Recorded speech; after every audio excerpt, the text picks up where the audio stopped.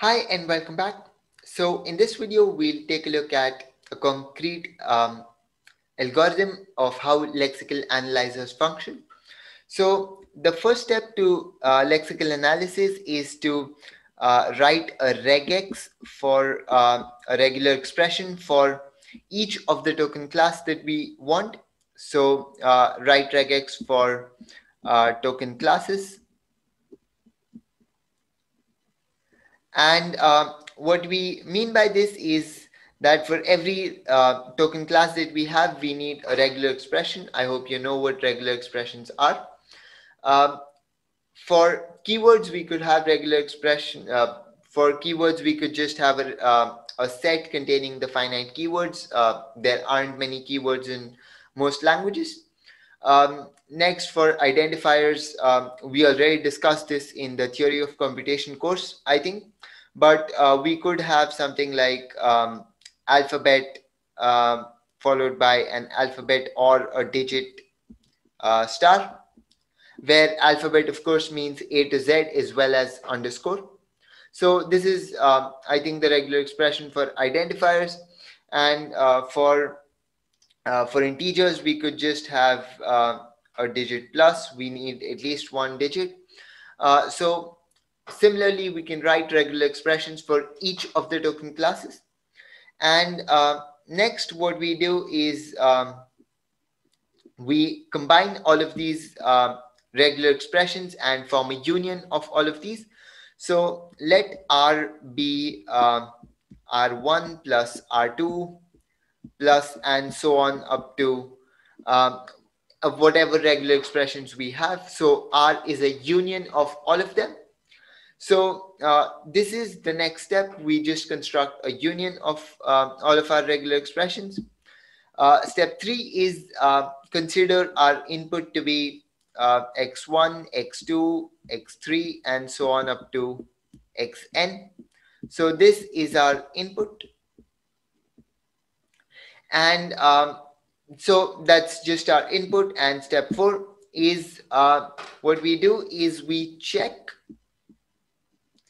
um, x1, x2, and so on up to xi. Uh, whether this belongs to the language represented by R, which is the union of all of the regular uh, expressions that we've written. So uh, we check this for um, all of our i. So my i will go from um, 1 to n. So that's my i and uh, we once we check that this does belong to the language represented by the regular expression given by R, the next step is to identify which uh, which regular uh, which token class this string actually belongs to. So that's step five. So step five is, um, of course, if four was a success, if uh, for success, then um, check which uh, which one it belongs to. So x1, x2, and so on up to xi from step 4. Uh, see that it belongs to the language represented by some rj. So uh, it belongs to L of rj for some j. And um, at this point, what we have is uh, a token because uh, we know that uh, L of RJ will, uh, we probably have given it some name. So let's just assume that L of RJ is a keyword. So uh, the token that we have constructed is that X1, X2, and so on up to XI is, um, uh, sorry about that. So, so on up to XI is a keyword so we have x1, x2, and so on up to xi, and then keyword. So this is the token that we've created. And uh, the next step is uh, to just remove uh, x1, x2, and so on up to xi from uh, the input. So remove from input. And uh, then we just reset to step three, which was um, to uh, consider the input as x1, x2, and so on up to xn and then check whether it belongs to L of R, and then identify uh, which RJ it belongs to.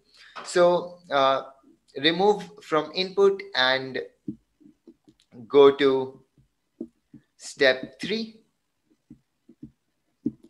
So this is the algorithm that uh, lexical analyzers would follow. And uh, there are still some ambiguities as we discussed in the previous video. There uh, might be some problems with lexical analysis.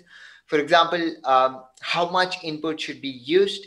Uh, so which means that uh, what if um, x1, x2, and so on up to xi belongs to L of rj, and x1, x2, and so on up to x uh, xk belongs to some L of um, rm. So uh, what if two different length strings belong to uh, uh, are still uh, part of the language? So these are some of the ambiguities that will still come up, but we'll talk about them in detail about uh, in the next video. In this video, I hope you've understood the algorithm uh, for lexical analysis. If you did, don't forget to give the video a like, share the video with your friends and subscribe to my channel if you haven't already. See you next time.